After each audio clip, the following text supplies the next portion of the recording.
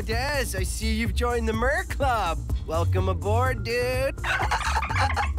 Thanks for inviting me. I am pumped. Suni! Hey, Suni! Slapsies, you're a natural merman, bro.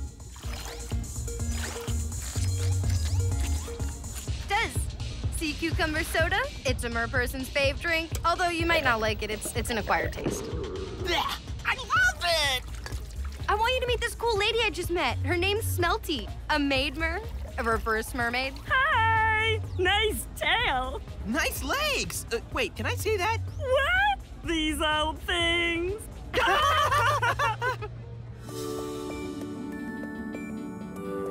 So, Dez, let me show you around, bro. I'd love to, but Suni's just introducing me to some people, and we sort of came together, so. Oh, that's okay, Dez. You better go with Neptune. We'll catch you on the flip side. Get it? Flip. Aw, man! Gotta get air already? Don't go changing, Buffet. Greg, Dylan, Susie? That's weird. They were chilling on this table a minute ago. And this is my rad throne zone. Actually, do you mind if I just run to the. Oh, you got your eye on the other throne zone. Well, that can wait. Your king has spoken. I'm sorry, my what? Yo, Steve! Steve!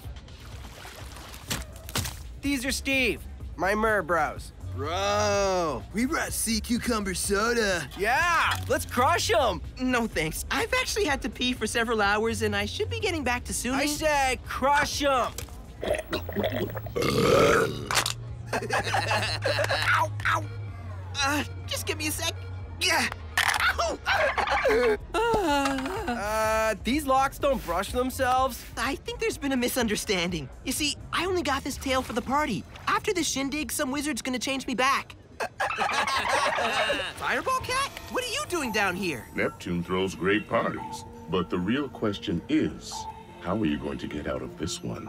Uh, what do you mean? Once you got that tail, you became a sea citizen. That means whether you're down here or on land, Neptune is your king. And the wizard has no power over Neptune's subjects. Welcome to your new merman life, Merdez. Oh!